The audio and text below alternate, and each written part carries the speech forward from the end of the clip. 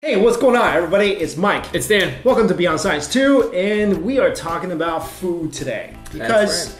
we eat every day, mm-hmm. obviously. Otherwise, we're dead. We gotta Right. eat. But there are some foods that we might be eating the wrong way.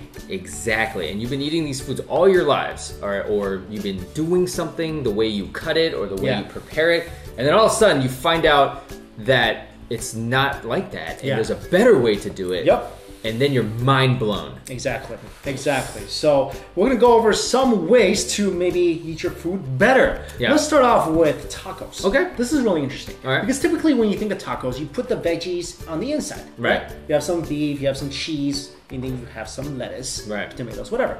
But what if Mm-hmm. you put the lettuce on the outside? Well, that's pretty smart. Yeah. Because what's the one problem that tacos have? Everything falls out, especially Yep. crunchy tacos. Yes. Well, even the soft tacos, right? Yeah, well, Everything- especially the crunchy dog. You're right. Yeah. And it cracks. It's like a, it's like a Crumbles. glacier. It's like a layer of ice. Crumple a little bit of it. The rest kind of crackles and falls apart. I'll tell you, one of my most like pet peeves was when I used to eat Taco Bell. I haven't done it in a long time, but I used to love the crunchy tacos. Yep. And every time, like you have to save the wrapper. Yeah. Because all the good stuff falls onto It's your wrapper. fall out, yeah. And then do you know what I have to do? What? Lick the wrapper. Well, yeah, but I don't want I don't want it because there's people around. So I have to like never stop me. yeah, well you don't lick it, you you put it up to your Yeah, face and you you're eat it like, like yeah, you eat it like a. but then you're like all messy like and stuff. But if you had a piece of lettuce, it would fall into the lettuce. It's almost like two for one deal, right? Because you get because you have had lettuce wraps. Yes. So first you got the crunchy wrap, then whatever falls well, in, you got you the lettuce also wrap. need lettuce in your taco anyway. You also need so lettuce in your that's the better way to just consume your lettuce. So exactly. there you go. Exactly. This next one is pretty interesting too. Mm-hmm. I, I really like this. I I'm I'm gonna try this. I've been meaning to try this. Okay. Here's with the trick. You use men- you use dental floss. Make sure it's unscented, or else everything's gonna taste like Yeah. mint.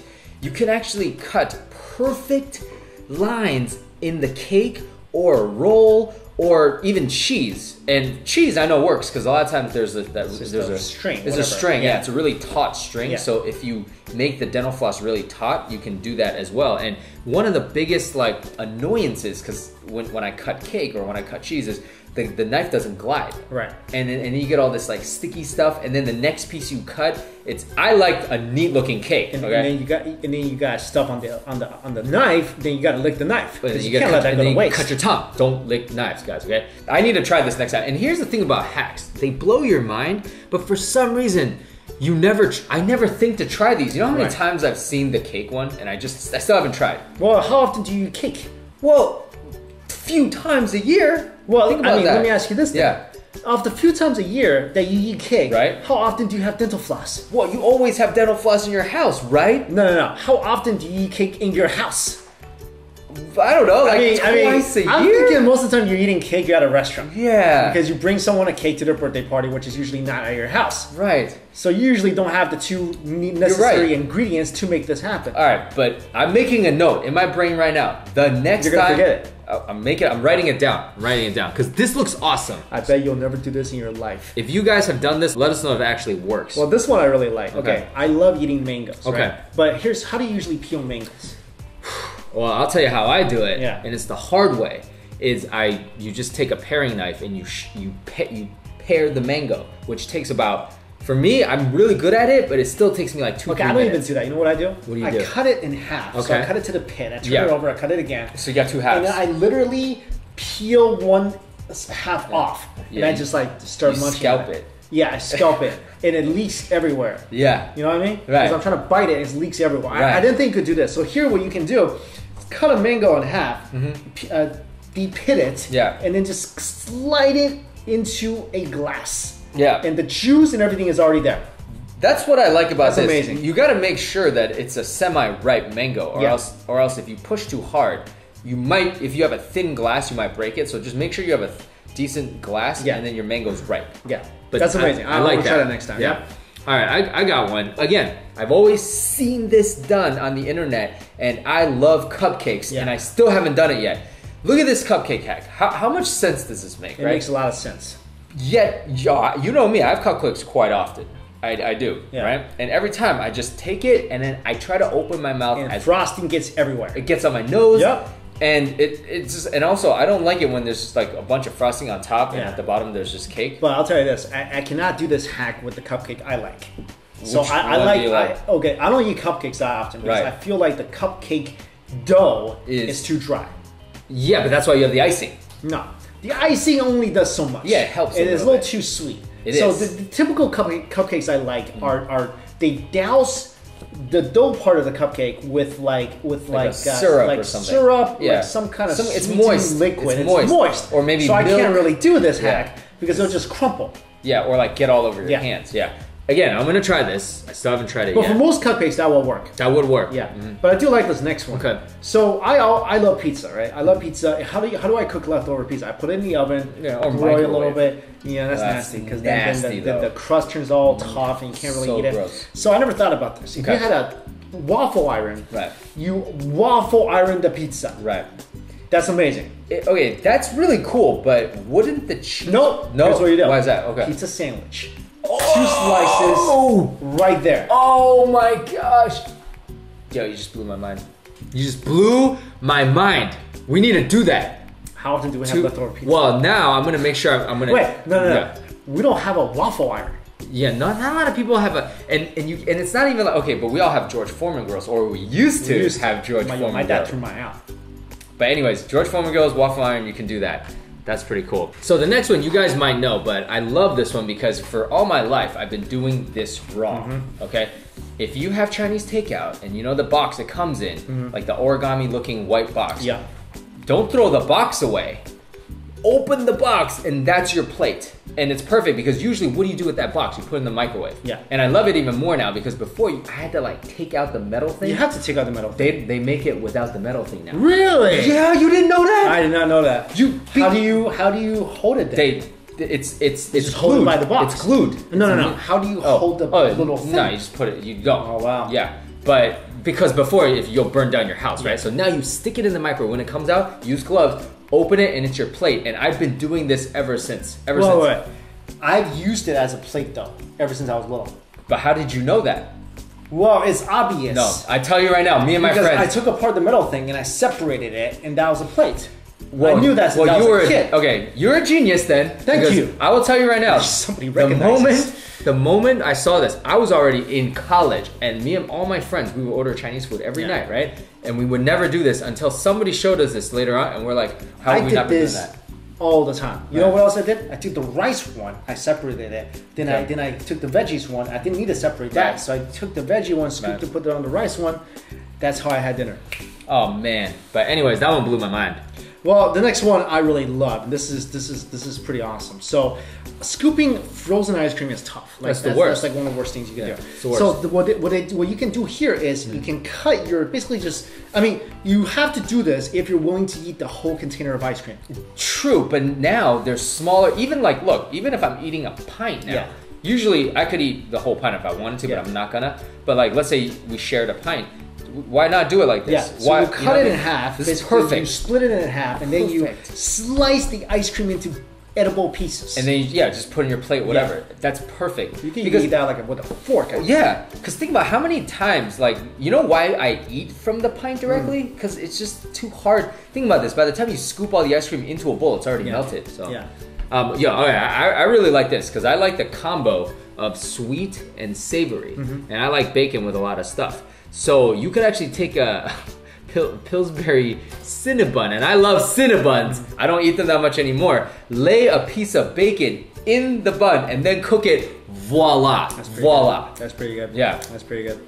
Well, this one I, I, I can't believe I've never thought of because it is a problem. Okay. So when you eat cold cuts, right? Right. So I remember, like, usually this is mainly back in the day where cold cuts is mainly just round. Nowadays it's more like Mm-hmm. All kinds of all sorts shapes, of yeah. shapes, whatever. But yeah, people like round cold cuts back in the day, Mm-hmm. and so what you can do, well, the problem is the edges of the bread are never uh, filled with cold cuts because the cold Right. cuts are round, and you Right. got a square bread. So what you do is cut them in half, and you shape them. You you place them out uh, the, with the straight edge out. Right. Then you basically make a perfect square. Yo, yo, that's too much work for you, man. No, You don't think so? no, because I want every one of my bites to contain meat. Okay. This is this next one. It's it's not. It's it's a really cool thing to do with food. It's kind of like a hack, but I never thought of this, and it makes total sense, right? You know, like when you when you make like fried egg or whatever, it, you know, it, it kind of has this big shape or Yeah. whatever. It's not perfect.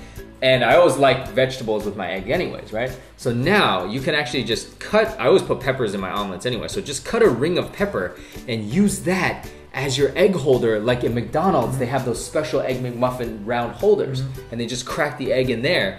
But this is your basically your home homemade. This is like ingenious. Yeah, that's pretty good. Ingenious. I, I love potatoes. Okay. I love potatoes. I love baked potatoes, but I, I do see an issue, right? You bake a potato, you slice it in half, right? Right. Then you put toppings on it. But the only way to really get the toppings in there is basically destroy the entire potato with the toppings on top, right? You That's kind of right. mash it together. So then it becomes a mashed potato. Right.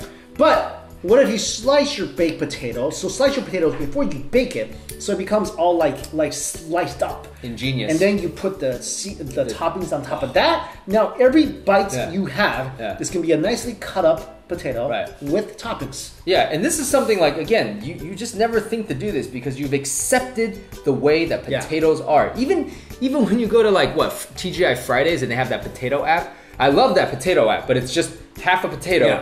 Bacon, cheese, sour cream, and then same thing happens. Either the cheese falls off, Yeah. or like it's not cooked enough. But this is perfect. Yeah, It's this is awesome. hmm This one is really cool because I used to eat a lot of Frito Lay's, right? And they're really salty. So, and I'm thinking to myself, yo, this is kind of just like nachos. So, what if you took the bag, right? You open it up and you put all the nacho fillings inside. My friend, yeah. that's a Frito pie, and we've been doing it in the Midwest for the last decade. Get outta and here. Half. Two Get decades. outta three here. decades. To make a Frito pie, Okay. What's a Frito pie? you you take the Frito, open it up, Right. dump dump dump yeah, a bunch dump of it stuff out. in there. Okay, but I guess you guys, but you guys didn't eat it right out of the bag. what we I'm ate saying. it right out of the bag. The potato chip bag. yeah. You dump Alright. it in the bag, Right. and then you eat it. Are you kidding? Doing it for decades. Okay, because I all right. Obviously, I didn't. I didn't grow up in the Midwest. uh, Midwest. Yeah. I grew up in the East Coast and Yeah. some of the West Coast, and no one ever has told me that. And That's that's a secret redneck recipe. that's insane. I, I, I learned it in Missouri, yeah. and we eat it in college. I'm doing this because you know, like in recess, like I always had, you know, like when you're a kid and your Yeah. mom buys you that box of small potato chips. There's like nine different kinds, and we I bring a potato chip. My friends, no one's ever said anything about that. That's crazy, man. Well, that, that blew my mind. You're like, whatever. I've been yeah, for a long time. but the next one I really like. I don't know if I ever tried this because I don't Okay. know if it actually works on bigger things. But Okay. strawberries, I, I do hate it when I have to like kind of eat around the stem. Right. But you take a straw and you stab it, Yeah. and the stem comes right out. But It here's my work, yeah. question: mm-hmm. If what if the strawberry was massive? You know, some of those massive mm-hmm. strawberries, Hey, you just you just and the stem was massive. get a bubble tea straw. True. Yeah. But here's my other question: How do you get the the, the innards out. out. of the out of the straw? You blow it. No, think about this, man. You don't blow it because every strawberry you stab, the the in, the innards goes. It will actually meet the other one. You just keep stabbing it, and eventually it'll just take up the whole straw. But I want to eat the innards. That's good strawberry. Oh, I mean, That's it's the a little middle bit. of the strawberry. It's no, a little no, bit. no, no. That's the middle of the strawberry. I want Yeah, that you- strawberry. you are getting rid of Especially it. if you're using a bubble tea straw, you're leaving a lot of good innards. Well, you- That's good eating. You, you can't. I mean, you really can't. There's nothing way around it. You either. no, I'll suck it out. Oh I'll suck Oh it my out. gosh. I'll suck it out. Oh I don't care. Gosh. I'll be like, stab it, take the stem out. I'll be like, Dude. good strawberry innards. Oh, oh, this one. All right, we've all we've all cracked. Um, we've all tried to crack an egg, and Yeah. then a piece of the eggshell falls in there. Yeah. How, and you know, like you're just like poking around there for an hour. Supposedly, if you wet your fingers first, Are you are you here to talk about food hacks we all know that you don't- knew that one? Everybody knows that one. No, no. Everyone Let me know if you guys knew that one. The we could take a finger poll. trick we could. We, we, on the eggshell. I didn't know that. Oh my god. We, dude, and Literally, it works, let's, right? let's call this video food hacks that only Dan did not know. So there you go, guys. Hopefully those are helpful next time you want to eat any of those foods that we talked about. So there's a clever way to some either prepare or cook or mix or different ways to prepare them. Right. And then apparently, I, I just didn't know things that everyone knew. Like, no, uh, I don't know. Maybe you did, but let us know. I don't know. Maybe you did. Maybe I, I just know more about cooking because I do have a food show. So I don't know. But like you learned those when you were much younger. Yeah, I did. So maybe the Midwest taught you those No, things. how, how come people stole my ideas? Which one? like the egg thing. No, Which- I didn't- It's good, it's good. But anyway, let us know if you have any other food hacks or point out any other foods that we may be eating incorrectly. Thanks for watching, everybody. See ya. Bye.